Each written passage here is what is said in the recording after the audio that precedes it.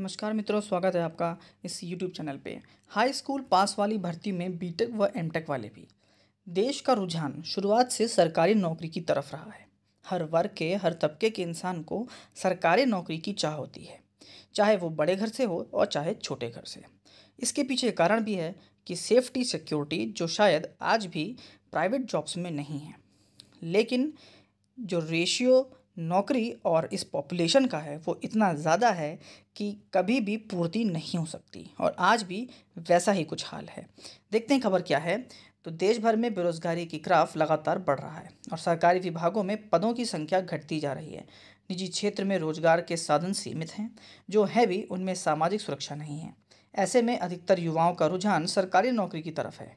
आलम यह है कि कुछ सौ पदों के लिए लाखों आवेदन आ रहे हैं। यही नहीं हाई स्कूल स्तर की पढ़ाई से मिलने वाली चपरासी, अनुचर, दफ्तरी जैसी नौकरी के लिए बीटेक एमटेक बीएससी एमएससी वालों ने भी बड़ी संख्या में आवेदन किए हैं। इन्होंने उच्च तकनीकी शिक्षा ग्रहण की, लेकिन रोज़गार न मिलने के कारण चपरासी जैसे पद पर भी नौकरी करने को तैयार हैं। कर्मचारी चयन आयोग की ओर से केंद्र सरकार के विभागों और मंत्रालयों में मल्टीटास्किंग स्टाफ परीक्षा से चपरासी, अनुचर, दफ्तरी आदि के ग्यारह पदों पर central board of indirect tax and custom एवं सेंट्रल ब्यूरो ऑफ़ नारकोटिक्स में हवलदार के 360 पदों पर भर्ती होनी है। इसके लिए योग्यता हाई स्कूल निर्धारित की गई है। 30 जून से 21 जुलाई 2023 तक आवेदन लिया गया। देश भर में करीब पच्चीस सैंतालीस तीन सौ तैंतीस अभ्यर्थियों ने आवेदन किया। मतलब आप देख सकते हैं कि पच्चीस लाख बच्चे करीब इसमें, साढ़े पच्चीस लाख बल्कि कहेंगे उन्होंने आवेदन किया। इसमें से एमएससी मध्य क्षेत्र यूपी बिहार और करीब सात लाख बल्कि आठ लाख ये आवेदन आए। चयन के लिए एक परीक्षा होती है, जो एक से चौदह सितंबर तक कराई जा चुकी है।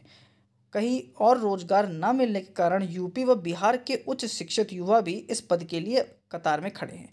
यूपी और बिहार के हाई स्कूल पास करीब एक लाख से आसपास अभ्यर्थियों के आवेदन आए, जबकि छः लाख से ऊपर अब आवेदन अन्य उच्च शिक्षित अभ्यर्थियों के हैं।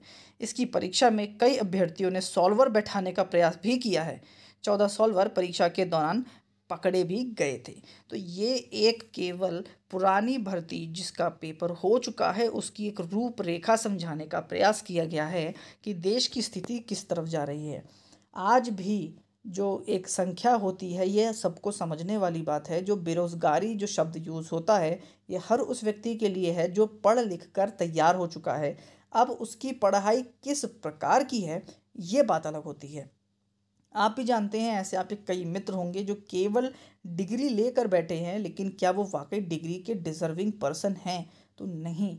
तो वो लोग भी फॉर्म भरेंगे और ऐसे ही लोग जो डिज़र्विंग नहीं हैं, जिन्होंने वो डिग्री फ़र्ज़ी तरीके से हासिल करी है, किसी भी छंद से, पैसे से या किस तरीके से भी, वो ही सॉलर बैठालते हैं, पेपर को फंसा देते हैं और पेपर या भर्ती लगातार चलती रहती है।